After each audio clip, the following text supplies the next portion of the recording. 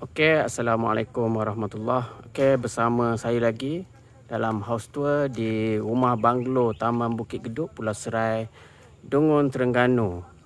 So, ini dia open space depan padang. Ha, ini perumahan yang lain. Hmm. Jom kita tengok bahagian dalam. Parking boleh memuatkan dua buah kereta.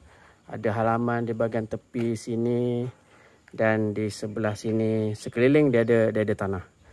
Rumah banglo jom kita tengok luar dulu.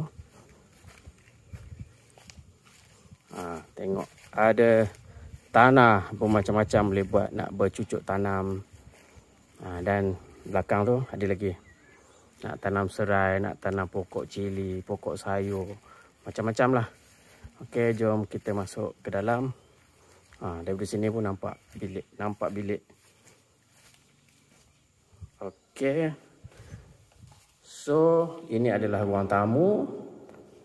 Uh, dan ada sliding door. Oh, best lah. Ada sliding door, kehijauan. So, ventilation, uh, pencahayaan memang memang best lah. Okey, ini ruang family ataupun dan, dan ruang, ruang makan. Juga ada sliding door. Jom kita masuk ke master bedroom.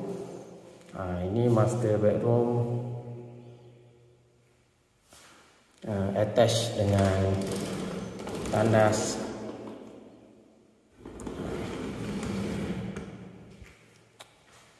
Okey, so kita ke bilik seterusnya. Uh, oh, kita pergi ke dapur dulu. Uh, ini uh, tempat makan. Ha, dia ada dua split area. Satu family area, ini kira TV area lah. Ha, ini adalah dining, dining area. Tempat makan, letak meja makan sini. Dan ini adalah dapur.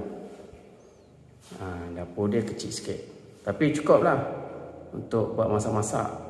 Sebab kita bukan nak buat kenduri kan. Okey. Ha, tandas. Yang kedua, And then bilik rumah ni ada empat bilik. Okay, ni bilik yang kedua. Bilik yang ketiga. Okay. Oh, tandas yang ketiga. Dan bilik air yang keempat. Ah, okay. Eh, sorry. Ini bilik yang keempat. Bilik air yang kedua. Eh, bilik air yang ketiga. Dan bilik uh, bilik tidur yang keempat. So oh, ini pemandangan okay, view daripada sini. Hmm. So, kita tengok di bahagian belakang. Ini adalah unit type A. Ha, bahagian belakang. Ada halaman lagi. Tapi sebelah sana rumah orang lah. Ha, kalau nak cantik, angkat pagar batu. Ini di bahagian belakang. Okey, berminat. Ini adalah unit type A. Ha, nanti saya akan tunjuk yang unit type B. Berminat, uh, dapatkan nombor saya dekat description. Okey, terima kasih. Okey, satu lagi rumah banglo. Uh, ini adalah type B. Uh, yang sebelum ni adalah type A. Okey, ini halaman di di tepi sebelah kanan dan juga sebelah kiri. Okey, parking pun memuatkan dua buah kereta. Jom kita pusing ke tepi sekejap. Oh, ini tanah yang luas. Dia tanah ni bergantung kepada unit uh, sebab dia tak dia uh, unit ada ada yang besar sikit, ada yang kecil sikit tapi kena tengok uh, unit yang available lah. So rumah ni kita masuk ikut. Uh, Masuk ke sini lah okay. Ini adalah ruang tamu Berserta dengan uh, Ruang family. Dia besar. Kalau yang macam type A dia split. Nah, Ini adalah pintu masuk. Okay So Ini uh, Sliding door Boleh nampak pemandangan hijau di sebelah care, master bedroom. Care, master bedroom disertakan dengan bathroom.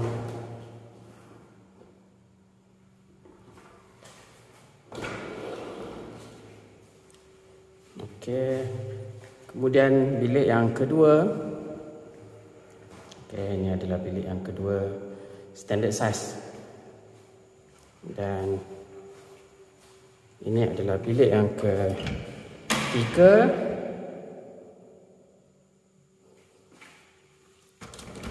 Okey, bilik air.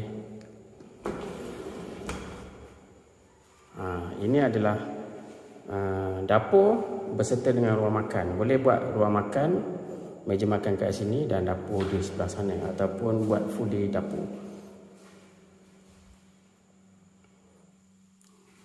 Okay, ini bilik air yang ketiga.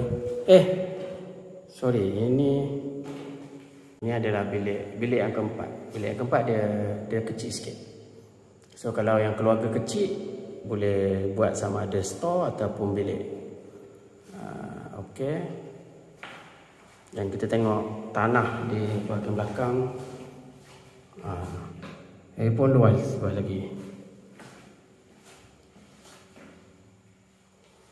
Okey, jom kita tengok uh, pemandangan keseluruhan rumah. Okey. Ha, dia memang sekaligus ruang satu uh, ruang family ruang family dan ruang tamu dia sekaligus dia memang besar lah. So kalau yang ni sesuai lah kalau uh, apa macam nak buat function kenduri tahlil dan sebagainya mak sesuai uh, ini okey. Ini pemandangan keluar. Okey. Laman depan parking laman kiri laman tak tahu kiri kanan. Okey so berminat boleh hubungi saya. Cuma type B dia berhadapan dengan kawasan apa uh, semak sikit lah kawasan sini. Tapi yang yang type A tu dia berhadapan dengan padang Okey, berminat hubungi saya. Terima kasih